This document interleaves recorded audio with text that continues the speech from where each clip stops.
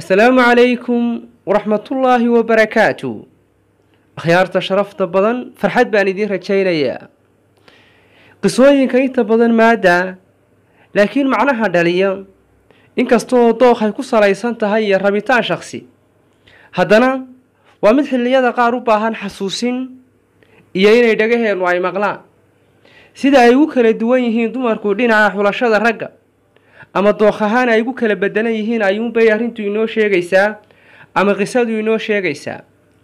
Laba dumara oo fadhi wadaag iyo sheeko wadaag lahaa ayaa waxaa mid ka mida guursaday nin weyn. Weynaanshuhu kii da-da ahaa maaha laakiin waa nin jidh ahaan weyn ama cayilan ama markaa buuran ama qof miisaankiisu aada u wen yahay. Ninkii bay kala tegeen oo markaas calafkoodii uu kala dhammaaday. Kadib haweenay kale ayay u timi waxaanay uga faalloonaysaa markaas ragga cayilan ama buuran ayay ka soo ay uga digaysaa saaxiibadeed inay guursato. Oo iyaduna xilligaa xilli ku jirta wakhtigii calmashada ama dhinaca guurka saaxiibadeed baa ku jirta iyaduna waa garoob ama waa gabadh carmaliyahoo la soo furay.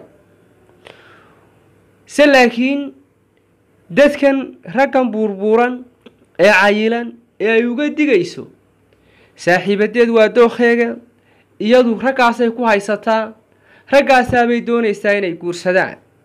Kadib qisadu sidan bay ku bilaabmaysaa.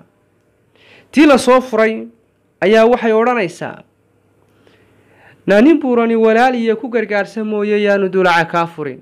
Ha u noqon marwiya xaas nin buurani walaal iyo ku gargaarsa mooye yaanu dulaca kaa furin oo ha noqon marwiya xaas ninku hadduu buuran yahay waxay tidhi inaad ku gargaarsato oo walaal ku ahaado maahane ha guursaninoo yaanu dulaca kaa furin oo ha noqon marwiya xaas tii kale waxay ugu jawaabtay oo iyada dookheedaba ay tahay raggaa buuran ee caloosha weyn ee xoogga weyn ee qarada weyn waxay tidhi naaninku gaamurnaankiiyo gobucuu ku wacan yahoo raggu qurux ku leeye?